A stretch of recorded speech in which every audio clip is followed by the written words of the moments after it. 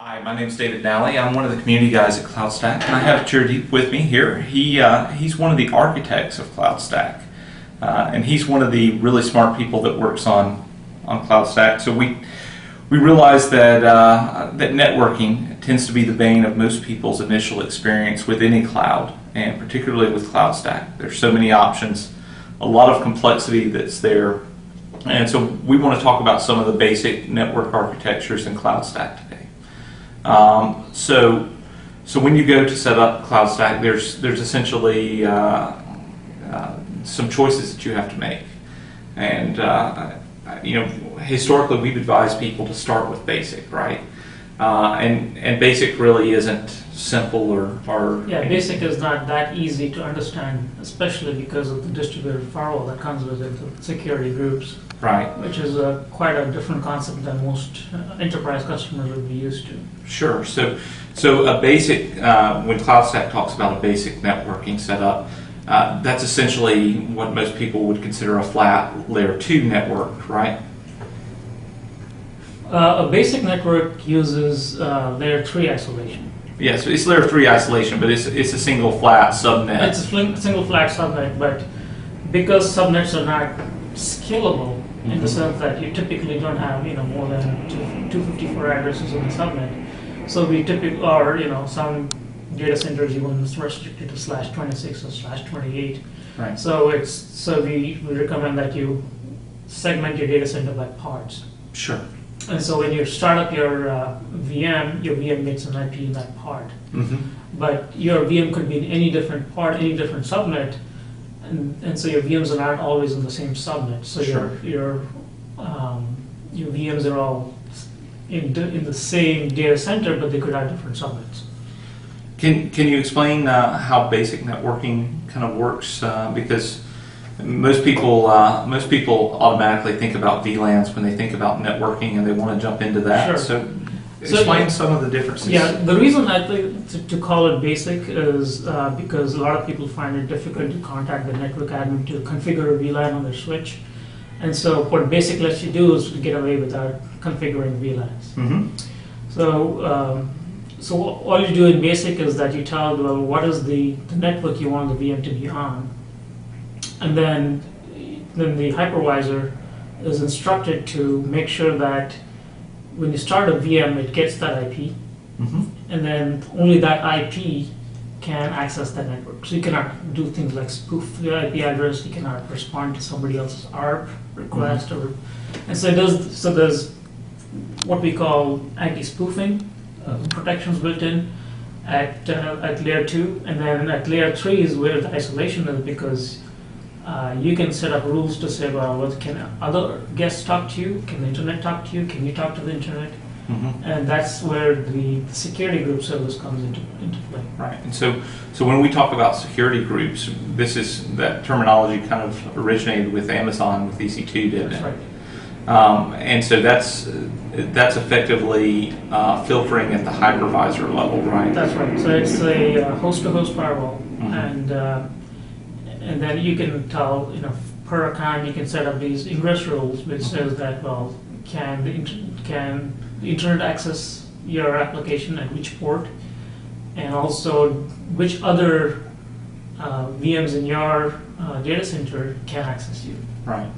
And so, you know, from what I understand, basic networking also allows you because you don't have the the VLAN limits.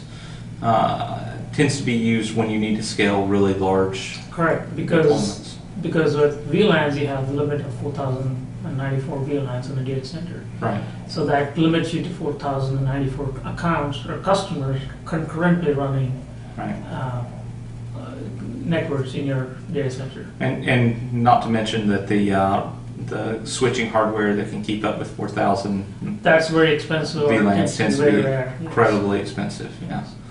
Uh, so so we've talked about basic. Uh, we have several others. We have we have that advanced uh, advanced virtual networking. Yeah, advanced virtual uh, takes advantage of VLANs. Mm-hmm. And so uh, what what happens is that each uh, tenant or customer gets their own distinct VLAN, and on top of the and so what they do they get you get We were talking about advanced. Uh, Advanced virtual. So yeah, we use VLANs to um, isolate uh, different customers and talents. Um, and then, and actually, the way the code is written, you can use something other than VLANs, but um, that's a topic for later discussion. We can use something like Open vSwitch or GRE tunnels to isolate. But assuming you're using VLANs, which is what the 2.2 code supports, Mhm. uh, each each tenant gets their own VLAN, and then uh, on top of the VLAN, they get their layer three services like DHCP and firewalling and VPN and load balancing. Um, so it's a very sophisticated, and very complete package uh, where where customers can run, um, you know, what what we call a virtual data center. Right. And so that, that really gives you uh, flexibility. I know we, we were talking earlier about uh, some of the services and, and some of the features coming in 3.0 with truly network as a service. Right. So Uh-huh. this the network as a service feature will let uh, data center admins or the cloud admin to define which features a customer can get. Yeah. So today we have something like service offering, which says, well, what CPU and what memory. It's like a catalog of, Sure. of capacity you can get.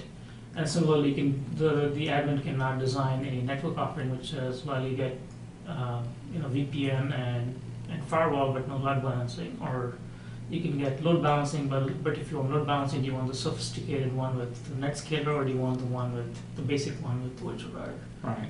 So, so with advanced virtual, effectively, the, the data center is providing a trunked port, and, and CloudStack takes care of the routing, right? They, they provide a virtual router. That's right. And, and they provide, I, I suppose for isolation reasons, they provide a, a router per account.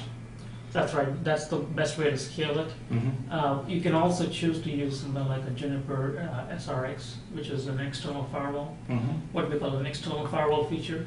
Uh, in which case, uh, in 2.2, uh, that Juniper firewall tends to be the router for the entire data center. So everybody shares that.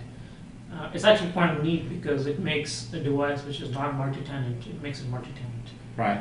And so, it, but that's called advanced, uh, advanced direct, right? It's If you're using an external device. it's still called advanced virtual, but you have the choice of using an external firewall provider. Oh, interesting.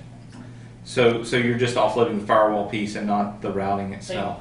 Uh, no, it's both for routing and firewall. The only difference is you still use the virtual router to do DHCP service. Okay. So tell us about uh, advanced direct. Um, so with Advanced Direct, uh, there were custom. I think the first use case we came across was uh, for the MPLS use case, where a customer wanted their uh, MP, was a large telecom service provider, Mhm. and they wanted their customers already using their MPLS VPN to connect their on-premises uh, network on, into the cloud. Mhm. And so they were already trunking their VLANs into their data center. And now, well, what, how, how can they use the cloud to, you know, maybe burst capacity or, you know, transparently use uh, services? Uh, so we offered this service called Direct Tag where we would allocate an account, a, a, VLAN, a specific VLAN Mhm. to an account. And so the only, and then the routing and firewalling was all taken care of by the telecom service provider. Mhm. So all we did was offer a DHCP service, which is what we call an IP address management service, Right. And and the rest is all, you know, offloaded to uh, whatever exists in the data center. Sure. So that's uh, that's kind of a hybrid uh, approach almost. It's still, It's- still yeah. retaining some of that legacy network management Correct. Yes. layer. So so we've we've got those essentially those three models. Uh, tell us why we would use why we would use each of them and what's some of the downsides and considerations of them. Um, the uh, the basic zone, as we discussed earlier, um, for the cloud provider, it's very attractive because it scales almost infinitely. Uh, we have some customers running with thousands and thousands and thousands of hosts with this model. Um, so that's the primary attraction of that model because it scales better. Mhm. Uh, with uh, unfortunately, we don't offer the same level of services on top of basic network. We don't offer VPN or load balancing. Well, we do do load balancing, but you don't get um, port forwarding. You don't get uh, uh, VPN, and there's a couple of other things you don't get. So if you want the full feature set, like you want to run, operate a virtual data center, uh, then you would use the advanced virtual Mhm. because you get the VPN, you get the load balancer, and everything you want. So we really try and, and tell people to stay away from advanced direct because that's still that legacy way of thinking, right? It is still attractive because there are some, for example, some of our dedicated guys, uh, customers who use uh, are traditional dedicated hosting providers. Mm-hmm. They have customers using VLANs already in their data center, Right. and now they're starting up this cloud infrastructure on the side. Well, how do you connect your legacy customers into the cloud? Sure. So that's how we Direct Tag for that. All right. Well, I appreciate uh, you talking to us about this. Uh, you're welcome.